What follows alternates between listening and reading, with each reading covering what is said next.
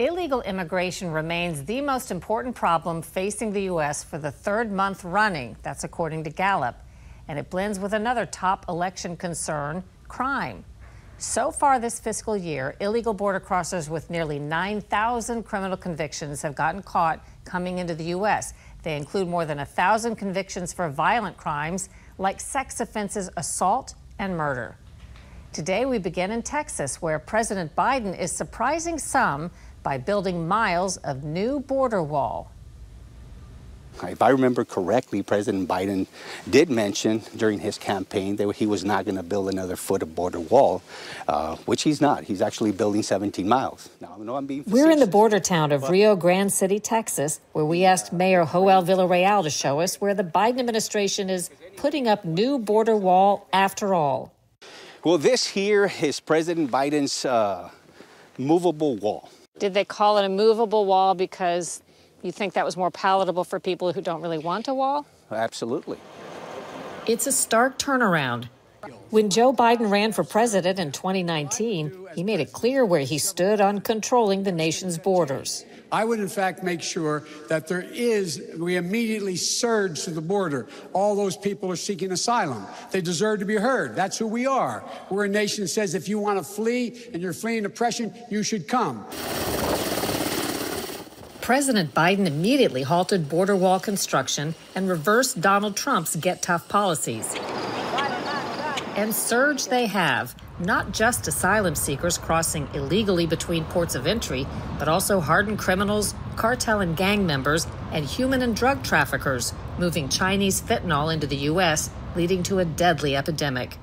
For the better part of three years, Biden and his Homeland Security chief claimed the border was closed and secure as millions poured in illegally. Now, with voters naming the border crisis a top issue in the 2024 presidential election, Biden's rhetoric has taken a noticeable shift.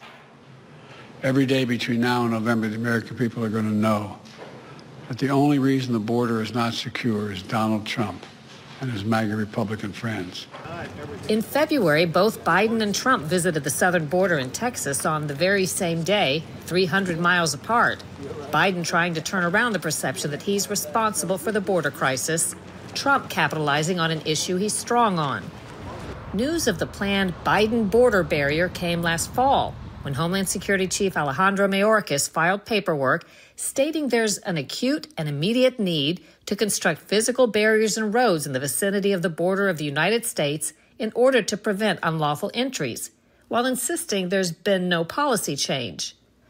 Biden said he still doesn't think walls work and is only spending Trump era funds because the law requires it. Border wall. The border wall, the money was appropriated for the border wall. There's nothing under the law other than they have to use the money for what it was appropriated. I can't stop that. It's led to an odd dynamic with the top polling issue in the presidential campaign. The federal government is now doing the very thing it's trying to stop Texas Governor Greg Abbott from doing. The hypocrisy is so nauseating. You know, on one end, you have President Biden building the border barrier, and at the other end, he's suing Governor Abbott for building a, or erecting a border barrier. Why do you think the turnaround at the 11th hour? Why would the Biden administration now be building border wall? I mean, bottom line is people overall as a country, they are seeing what's happening here. And the reality is that the, the circumstances that when you're having individuals coming into the country and again, not properly vetted or catch and release, it's having an impact uh, on the national, uh, na national uh, perspective here.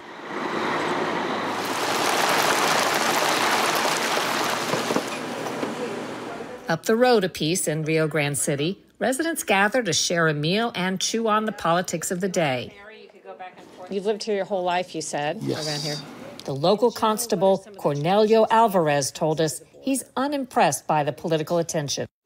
I don't care who is president or I don't care who's up there because, you know, it's such a big country that people don't actually, you know, come and visit us only when they want, you know, because the elections, you know, but we don't get visits often or that stuff is like I don't I don't think politics should be involved in this type of uh, border crossing or blaming who's who. That's good. Porque yo estaba, yo estaba interesada. Becky Garza owns Texas Cafe, first opened by her grandfather from Mexico back in 1939. Today, she's an example of how border politics is making for strange and confused bedfellows. You got the Democrats saying one thing, you got the, the Republicans saying another thing, then you got liberals. A lot of these border towns and the leaders who we've interviewed, they're Democrats. Mm-hmm. However, they line up more sometimes with Republicans when it comes to border policy. Right. What do you see in terms of politics? We're in a presidential election year. Because I don't vote for the person anymore. I'm not a I'm not going to vote for Democrat Republican anymore. I vote for policies now. I agree with the Republican rules or guidelines on immigration. I it's the same thing with a wall. But you're I'm not a Republican. No, I am not. Customer Ray Castillo. I don't really classify myself as a Democrat or Republican. So for me, it's the issues that they want to combat and how they're going to approach them, which wins my vote.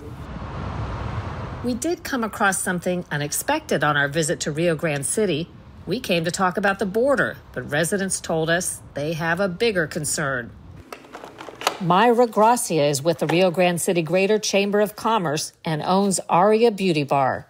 That would be my top issue, the economy. What is your feeling now about the state of the economy compared to other recent years? Do you feel like you're doing better or not as good? Interest rates and prices have gone up real high to where now we have to work even harder or we have to have dual uh, households to be able to afford a household, to be able to to live at this point isn't how it used to be where the husbands would work and the wives could stay home. I don't think that's really much of a possibility right now. Do you think that's something that changes depending on who's elected, or is that just an ebb and flow of? I believe it is something that changes depending on who is elected, yes. What are some of your thoughts about what's important to you?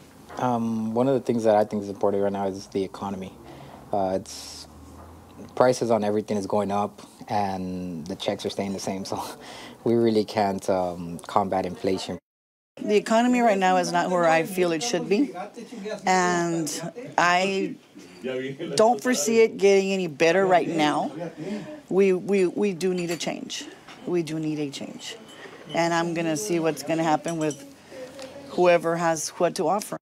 Meantime, Mayor Villarreal says they don't need more border fencing in this particular spot, but Biden barriers are coming, like it or not. As you're looking at this is a, the south point of the wall, and this would be the north, and it's going to be going in west direction. And that's the unfortunate part because you're going to have the left and the right fighting over this. Whereas, hey, let's close the border versus no, uh, let's let's bring everybody in. But how do we find that bridge, that political divide? And so far, unfortunately, DC hasn't been able to do that. Um, and where are we going to go from here? Right now, it would seem all roads lead to November. In the past six months, more than 1.3 million people have gotten caught crossing the southwest border illegally. If that rate continues, it will break all other records set each year under the Biden administration.